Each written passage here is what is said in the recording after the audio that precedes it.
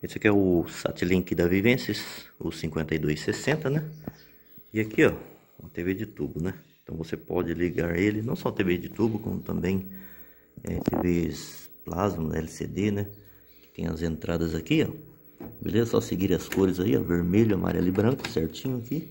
E aqui você vai ligar, ó, nessa saída aqui, UT, AV UT. Tá vendo? Tem duas aqui, ó. Essa é a AV UT.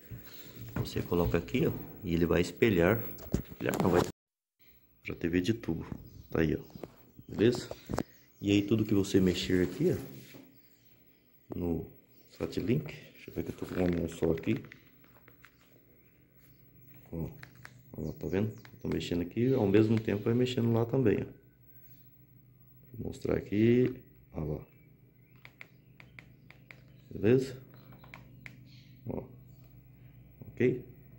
Às vezes você quer fazer uma instalação para ficar um pouco maior, coloca uma TV por perto aí e vai funcionar belezinha, belezinha aí.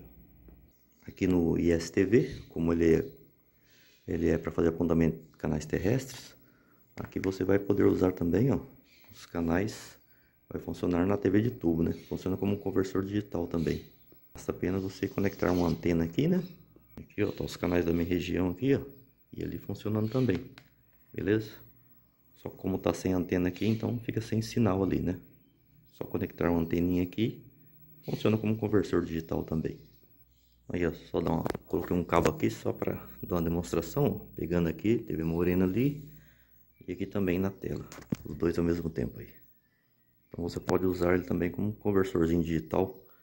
No caso de uma emergência aí, para fazer testes aí numa TV de tubo como essa daqui, ó que já não tem mais funcionamento com ela, a não ser com conversor digital, né? Então o Satlink da Vivência tem essa opção aí. Valeu!